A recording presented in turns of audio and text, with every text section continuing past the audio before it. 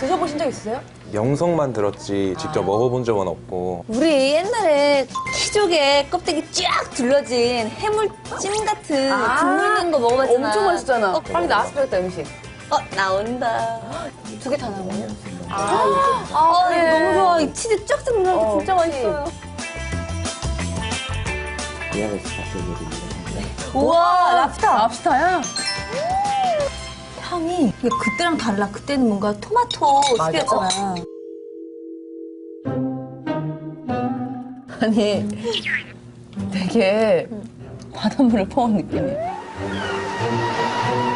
어, 외국 물 냄새 나. 외국, 외국 냄새 나. 어.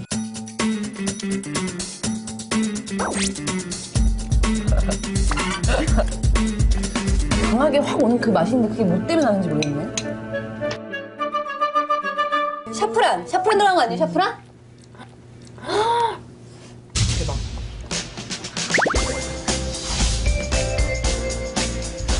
샤프란과 프랑스의 술이 만나 육수의 독특한 향을 완성하는 것이 special point. 해물탕처럼 진하게 간이 다 돼 있는 게 아니라 음. 되게 맑은. 옅으면서 향이 향이 있는. 어.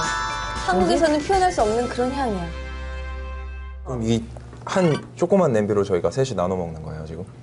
어 이런 그래? 의욕 좋아. 그러면 우리 인철이 배고프니까 하나 다 줘. 아 왜 인철이 먼저 챙겨줘? 인철이. 감사합니다 너도 줄게. 아, 이게 더 맛있는 거 아니야? 나 줘 그럼. 나 줘 그럼. 그리고 이거 드시고 넌 집게. 이게 되게 작은데도 안에 종류가 되게 많아. 랍스타 들었지, 관자 들었지, 그리고 생선이 살이 아니 통통하던데?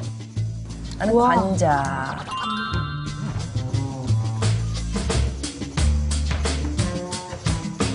먹었는데 모르겠어. 진짜 향이 확 나겠네 진짜. 관자 맛은 나는데 그 위에 이 특이한 향이 같이 느껴져.